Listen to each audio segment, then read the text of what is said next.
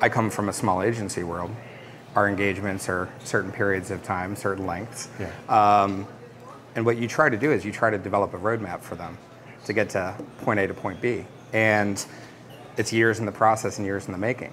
And on their side, they have their regular business forces that are affecting the business and your roadmap. They're growing. You know, we've seen small startups from four people to over 50 people. And um, what happens though is the knowledge transfer that you're working with them on carrying through uh, to their team. You have funders uh, pulling strings in different directions as well. So, right. and oftentimes decisions are made without even thinking of their users. And it's like, are you giving your customers whiplash with all these decisions that you're making internally as a business culture?